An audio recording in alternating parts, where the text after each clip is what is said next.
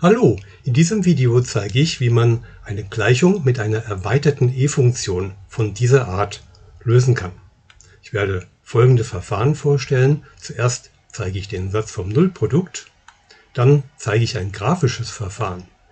Wir lernen die Solv-Funktion des Taschenrechners kennen, das Newtonsche Näherungsverfahren und die Lambertsche W-Funktion. Viel Spaß, es geht los! Im Mathe-Abitur der letzten Jahre kam sehr häufig eine erweiterte e-Funktion von dieser Art dran, an der eine Kurvendiskussion durchzuführen war. Zum Beispiel hier haben wir eine Käferpopulation und die Anzahl der Käfer wird als Funktion der Zeit in Jahren beschrieben. Es sollte berechnet werden, wann die Anzahl der Käfer am größten ist. Hier ist klar, da ist ein Hochpunkt zu berechnen, das heißt wir müssen die erste Ableitung dieser Funktion gleich 0 setzen. Wir leiten diese Funktion mit Hilfe der Produktregel und der Kettenregel ab und bekommen als erste Ableitung diese erweiterte e-Funktion. Wir sehen, beide Funktionen sind vom gleichen Typ. Wir haben hier vorne eine, ein Polynom von x, hier ein lineares Polynom, multipliziert mit einer e-Funktion. Das nennt man eine erweiterte e-Funktion. Nun wollen wir zum Berechnen des Hochpunkts diese erste Ableitung gleich 0 setzen. Wenn wir auf der rechten Seite der Gleichung eine 0 stehen haben, empfiehlt es sich hier immer mit dem Satz vom Nullprodukt zu arbeiten, der besagt, ein Produkt ist dann 0, wenn entweder der erste Faktor 0 ist, also diese Klammer, oder der zweite Faktor, diese e-Funktion. Die erste äh, Klammer, die ist 0 bei dieser Gleichung, das heißt x1 gleich 8. Dann wäre x1 gleich 8, sehen wir hier, die erste Lösung dieser Gleichung. Wann ist der zweite Faktor gleich 0? Naja, die e-Funktion kann nie 0 werden. Die e-Funktion hat grundsätzlich keine Nullstellen. Also ist x1 gleich 8 die einzige Lösung dieser Gleichung. Berechnen wir noch die y-Koordinate dieses Hochpunkts. Dazu setzen wir diese Lösung in die Ausgangsgleichung ein und bekommen 118. Also unser Hochpunkt liegt bei 8 Stab 118 und die Antwort lautet, nach 8 Jahren ist die Population mit 118 Käfern am größten. In dieser Aufgabe waren noch weitere Eigenschaften dieser Kurve zu berechnen, zum Beispiel den Wendepunkt aber erstaunlicherweise fehlte eine naheliegende Frage, wann die Anzahl der Käfer einen bestimmten Wert, zum Beispiel 50 Exemplare, erreicht. Warum fehlte diese Frage? Ja, in, für diese Situation wäre nämlich folgende Gleichung zu lösen. Wir haben hier unsere Funktion, die soll gleich 50 sein. Und hier können wir nun keinen Satz vom Nullprodukt mehr anwenden. Wir brauchen etwas anderes. Ihr könnt gerne mal versuchen, diese Gleichung nach x aufzulösen. Ich bin gespannt auf eure Ideen, ihr könnt sie mir gerne in die Kommentare schreiben, aber ich verrate euch gleich, diese Gleichung lässt sich nicht durch Umstellen und auch nicht mit dem ln nach x auflösen. Obwohl es hier ganz klar Lösungen gibt, wissen wir nicht, wie wir an diese Lösung herankommen. Leider gibt es also durch Umformung hier keine Möglichkeit, das x herauszubekommen.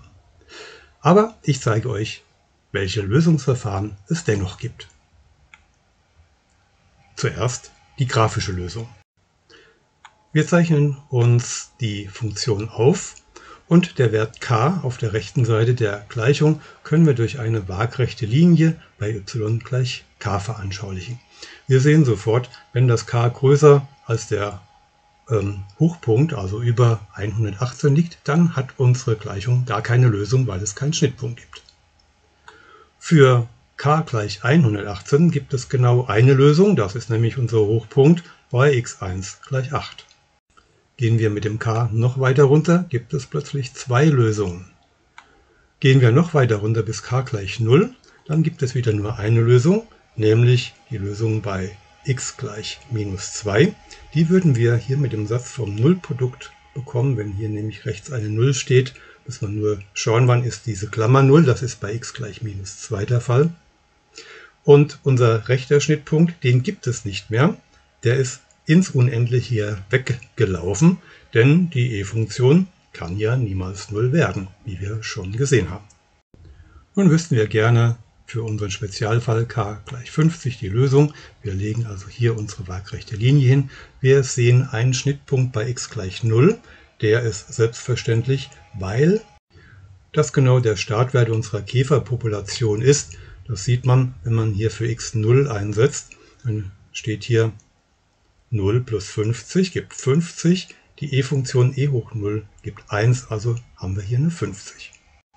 x 1 gleich 0 ist unsere erste Lösung. Die zweite Lösung ist allerdings keineswegs offensichtlich.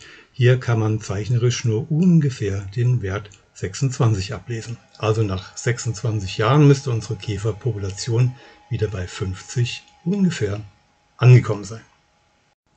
Da dieses Verfahren relativ ungenau ist, versuchen wir ein zweites, nämlich unser Taschenrechner, der Casio, verfügt über eine Solv-Funktion. Solv heißt, dass man damit Gleichungen lösen kann.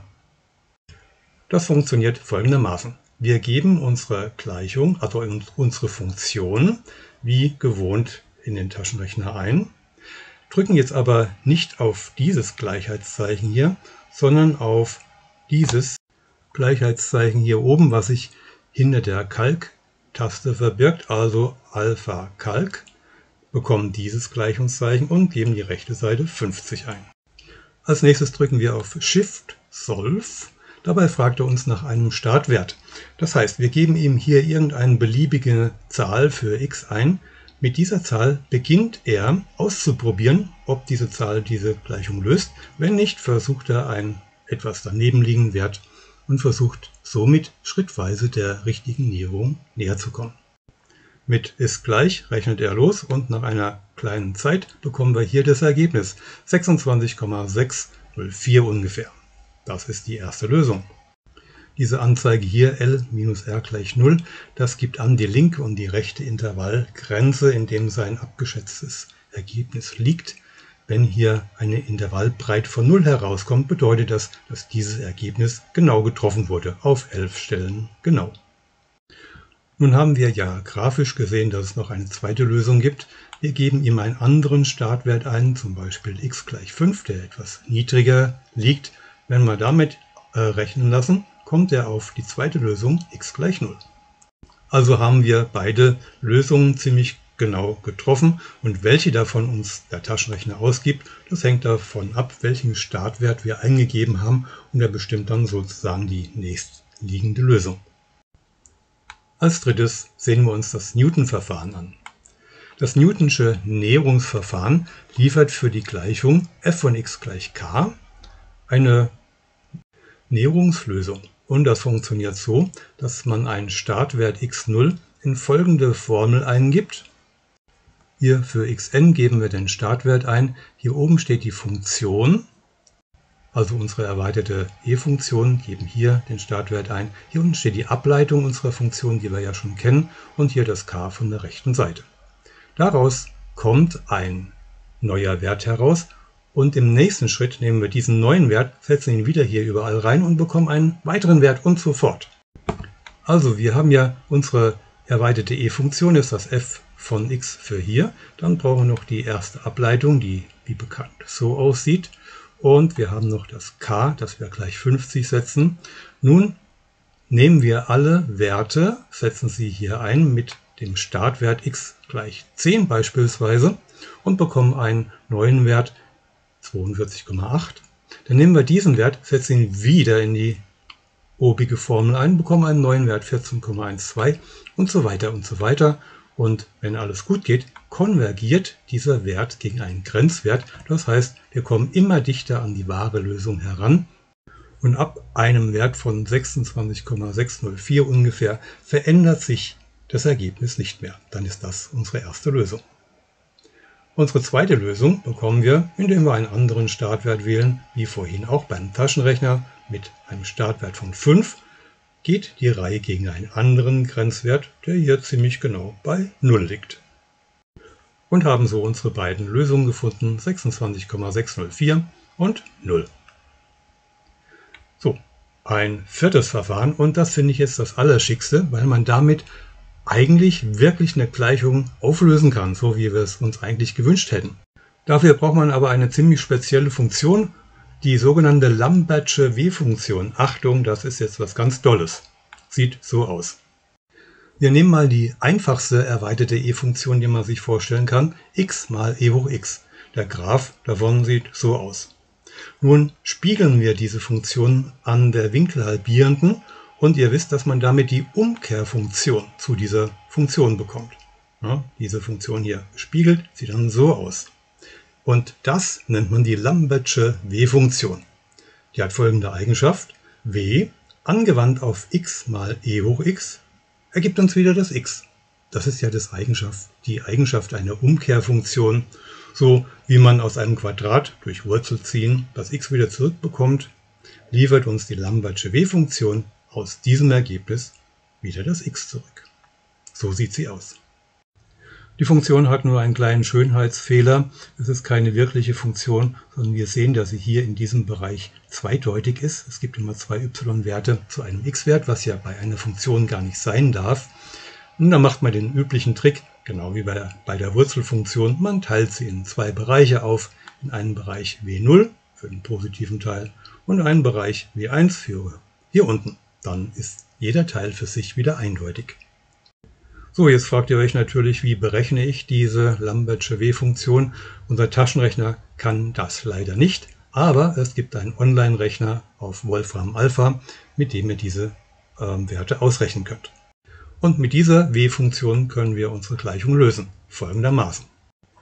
Wir müssen zuerst dafür sorgen, dass der Faktor vor der e-Funktion und im Exponent gleich aussieht, denn unsere W-Funktion ist ja so definiert, dass irgendwas mal e hoch irgendwas das irgendwas ergibt, also muss der Vorfaktor und der Exponent gleich aussehen. So, wie kriegen wir das hier hin? Als erstes wollen wir erreichen, dass der Vorfaktor vor dem x genauso aussieht wie der im Exponent und das erreicht man, indem man durch minus 250 teilt. Dann haben wir nämlich hier minus 0,1x. Die 50 muss natürlich auch geteilt werden e-Funktion bleibt und die rechte Seite muss geteilt werden, gibt minus 0,2. Im nächsten Schritt müssen wir erreichen, dass der Exponent in der e-Funktion genauso aussieht wie dieser Vorfaktor. Wir sehen, was hier oben noch fehlt, ist eine minus 0,2. Das bekommen wir hin, indem wir diese Gleichung auf beiden Seiten mal e hoch minus 0,2 nehmen. Wenn wir diese e-Funktion mit dieser multiplizieren, können wir ja nach den Potenzregeln diese minus 0,2 mit in den Exponent schreiben. Zur Erinnerung an das erste Potenzgesetz, zwei Potenzen werden multipliziert, indem man die Exponenten addiert. So, auf der rechten Seite müssen wir natürlich auch mit der e-Funktion multiplizieren. Und nur um die Schreibweise etwas zu vereinfachen, rechne ich diesen Wert gleich aus. So, jetzt haben wir es geschafft, dass hier dieser Vorfaktor und der Exponent gleich aussieht. Jetzt kann ich die Umkehrfunktion davon verwenden. Also ich nehme auf beiden Seiten der Gleichung die w-Funktion. Da passiert folgendes. Hier wird nur das Argument, also minus 0,1x minus 0,2 übrig bleiben. Und auf der rechten Seite haben wir eben w von minus 0,1637. Ihr kennt das, so als würde man hier den Logarithmus auf beiden Seiten anwenden, da passiert ja ähnliches. Jetzt brauchen wir nur noch diese einfache Gleichung nach x aufzulösen und haben x gleich minus 10 mal w von minus 0,1637 minus 2. So, die w-Funktion können wir jetzt mit dem Online-Rechner ausrechnen. Für den Zweig w0 bekommen wir als Lösung minus 0,2.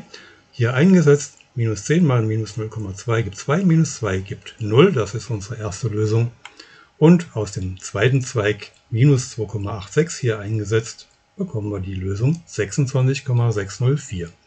Wie bekannt, hurra! Das ist jetzt die exakte Lösung unserer Gleichung. Alles klar? Na dann, tschüss.